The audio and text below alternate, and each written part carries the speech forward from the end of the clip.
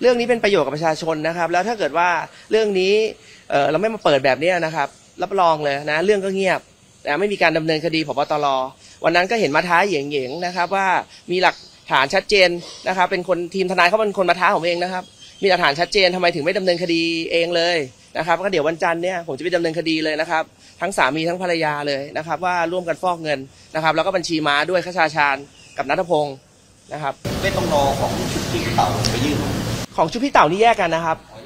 ของชุดพี่เต่าเนี่ยให้ให้ตรวจสอบเส้นทางการเงินของตำรวจทุกคนนะครับ แล้วก็เอ่อเส้นเงินที่จากพิมพ์วิไลมานะครับ พิมพ์วิไลไม่ใช่พิมพ์พิไลนะครับ บางช่องเอาไปเอาไปลงว่าพิมพ์พิไลนะครับ ก็เดี๋ยวผมมีนัดหมายกับทางสอบสวนกลางเนี่ยว่าจะไปให้ข้อมูลพรุ่งนี้นะครับ เดี๋ยวพรุ่งนี้เดี๋ยวผมก็ไปให้การนะครับ ตามที่นัดหมาย ได้คุยกับทางวัดบ้างหรือยัง ไม่ได้คุยเลยครับ ก็ทราบจากทางผู้สื่อข่าวแหละว่าพยายามที่จะมาขอข้อมูล แล้วก็ทางวัดก็ไม่ให้ข้อมูลทุกคนปิดปากเงียบหมดนะครับ ไม่ว่าจะเป็นคาราวาสหรือว่าจะเป็นพระนะครับ เรามองยังไงบ้างคะที่ไม่มีใครให้ข้อมูลตรงนี้เลยก็คงจะถูกสั่งมาว่าอย่าให้ข้อมูลนะครับ แต่ไม่เป็นไรครับ แต่ก็วัดก็ต้องให้ข้อมูลกับสำนักพุทธนะครับ เพราะว่าเขามีอำนาจที่จะมาตรวจสอบนะครับ ผมก็เข้าใจว่าตอนนี้ก็สำนักพุทธก็ลงมาตรวจสอบแล้วเช่นกัน วันนี้ถือสบายใจขึ้นไหมครับหลังจากมาทำบุญที่นี่นะก็สบายใจขึ้นแล้วครับ แต่ว่าความหนักใจจะไปอยู่ที่อีกฝั่งแทนแล้วครับเพราะเดี๋ยววันจันทร์เนี่ยผมก็จะต้องมีการดำเนินคดีแล้ว เพราะว่าตอนนี้หลักฐานผมค่อนข้างที่จะ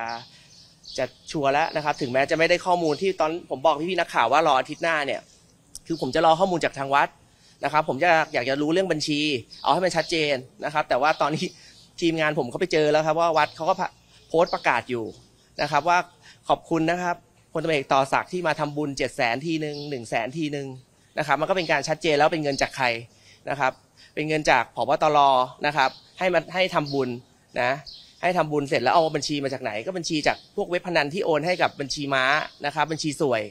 นะครับเอาเงินบาปเนี่ยมาทำบุญนะครับซึ่งวันจันทร์นี้เราดำเนินคดีแน่นอนดำเนินคดีแน่นอนครับ ก็นัดพี่ๆผู้สื่อข่าวเลยแล้วกันนะจะได้ไปเป็นสักขีพยานว่า ทนายตั้มสิทธาเบี้ยบังเกิดเนี่ยนะครับไม่ได้มาทำเพื่อบิ๊กโจ๊กนะครับไม่ได้มาทำเพื่อใครนะเราจะดำเนินคดีจริงไม่ได้มีการขู่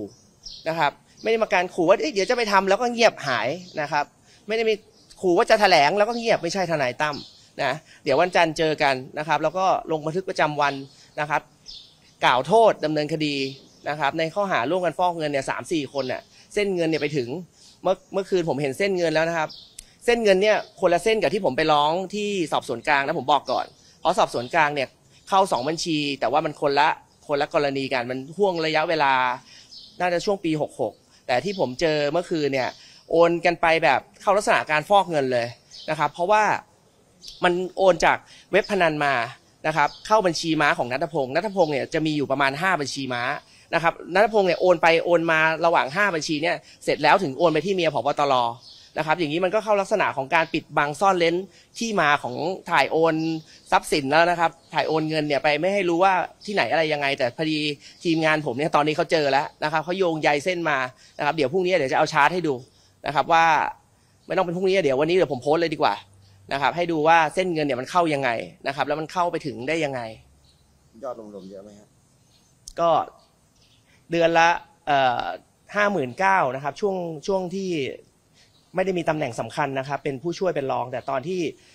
คุมระดับกองบัญชาการเนี่ยออโอนให้กับภรรยาเนี่ยเดือนละแสนกว่าบาทนะครับ อันนี้แค่บัญบัญชีเดียวนะผมยังไม่ตรวจสอบเจอบัญชีอื่นของทาง